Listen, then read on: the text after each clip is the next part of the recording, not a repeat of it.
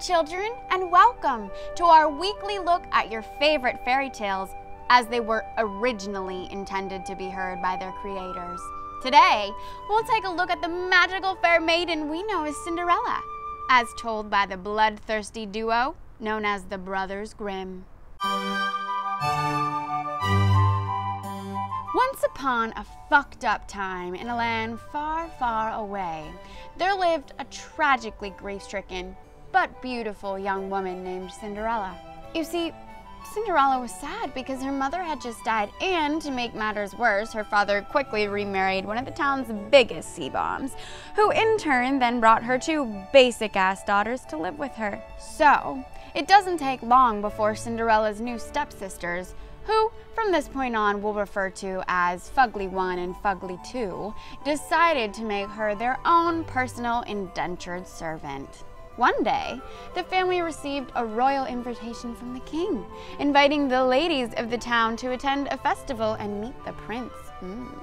Of course, the Fuglies were more than excited and immediately tried to look as close to decent as they could for the big party. Cinderella, on the other hand, was told that she could only go if she collected an entire bowl of lentils from the garden. Really? The stepmother knew she wouldn't be able to do so on her own, so she left the stepdaughter alone in the garden. What she didn't suspect, however, was that in the Brothers Grimm version of this story, Cinderella has telepathic powers that allow her to talk to the birds. Cinderella used her telepathic powers and had her feathered friends help her collect all the lentils from the garden and into the bowl. Cinderella then quickly rushed back into the house with her bowl full of lentils and a heart full of hope, only to find that her stepmother had already left for the ball with her two daughters. Bitch. Completely devastated, Cinderella runs to a magical tree that has grown from her late mother's grave and says, Shake and quiver, little tree, throw gold and silver down to me. Of which her magical dead tree mom says, Sure. And just like that, a couple of birds flew down from the tree carrying the most beautiful gold and silver dress, along with a pair of golden slippers, which she immediately put on and raced to the festival.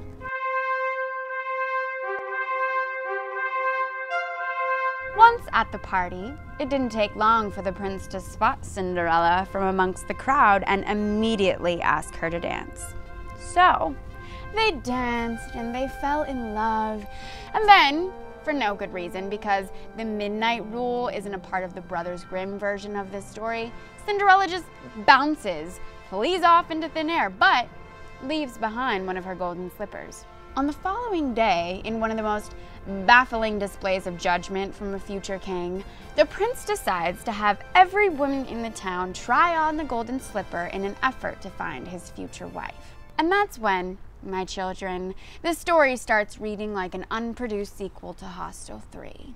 No one shall be my wife unless her foot fits this slipper, said the prince. I'll give it a try, said Fugly One. But when Fugly One's mother saw that her daughter couldn't fit into the shoe, she pulled out a knife from the kitchen and said, Cut off your toe. When you are queen, you will no longer have to go on foot. To which Fugly One responded, Sounds legit. The elder Fugly then proceeded to limp towards the prince with her blood-soaked golden shoe. Ta-da! It fits, you see. But the prince was not fooled, because even though he couldn't recognize the face of the woman he loved, he sure as hell could tell when a crazy ass bitch cut off her toe in order to fit into a shoe. Don't you have another doctor around here? That was Scottish. I'm gonna do that over. Don't you have another doctor around here? Cinderella finally makes her dramatic entrance in full homeless maid attire. I am the other doctor of this house. Let me try on that slipper. And voila, a perfect fit. The prince suddenly recognizes Cinderella in what surely is the beginning of a troublesome relationship with a man who can't even recognize faces. The end.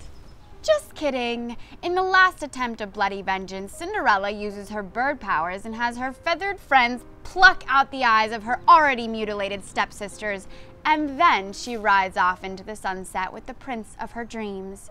The end. For reals.